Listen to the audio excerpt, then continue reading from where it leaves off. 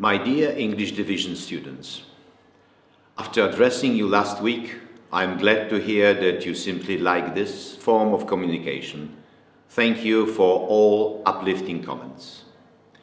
I am fully aware that in this difficult time, away from your families and away from home countries, you need and you deserve that the university provides you with reliable information and full support.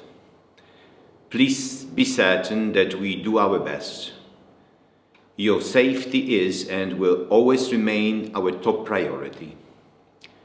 The university is naturally an environment for gatherings, both academic and social, but at this time I urge you to comply with the governmental guidelines.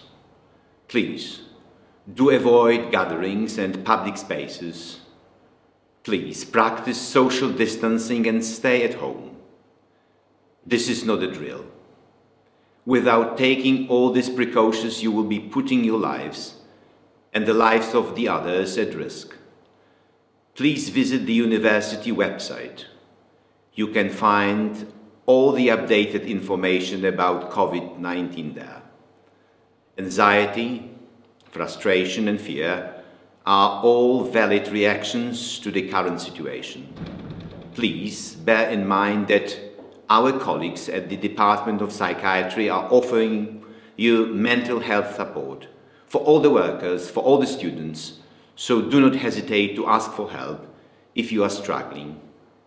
It is a sign of strength, not weakness. I have been informed that some of you may have been dealing with racist remarks. If this is ever the case, I do urge you to immediately contact us, contact me by email or phone. I do declare that we will act immediately and decidedly. This sort of behavior would not be tolerated. You may be away from your homes, but you are not alone. I also want to address some administrative issues which you have inquired about. I know that uh, some of you are considering whether or not to return to your home countries.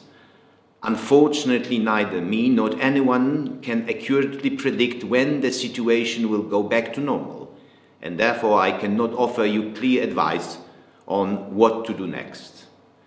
The pandemic and the response to it follows a different patterns in each country.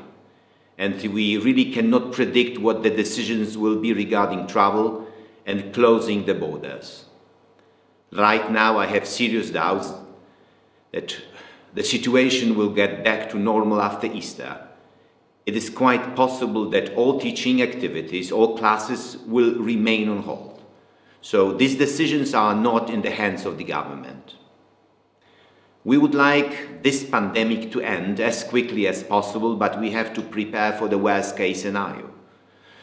We are constantly working on solutions to comply with the governmental regulations, discussing the available options regarding taking tests, final exams online, especially in the final years, when most classes are clinically based and cannot be just substituted with online lectures and seminars. These matters are very complex and uh, difficult and indeed we are in the process of consultations with the other medical universities so I really hope that I will be able to present you with solutions very soon. Bearing all of this in mind, some aspects of the university life must go on. We have started the admission process for the coming year and are receiving first applications.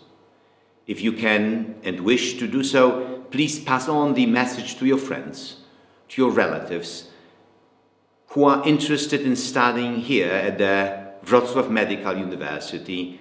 We welcome applications. Admissions are now open. All of the details can be found on the English Division website. There will be life after the crisis. There will be our university, there will be many English division students happily studying in our beautiful city. I hope the next time I address you, I will be able to present more solutions and dispel any doubts you may have. I really encourage you to contact me with questions uh, at rektor at umed.wroc.pl. Finally, I would like to remind you once again that at this time the most important thing is to care for ourselves and the others by complying with their safety precautions. I really know that it is not easy, but believe me, it is necessary. As future healthcare providers, I really urge you to lead by example. Please stay safe. And see you again next week. Cheers.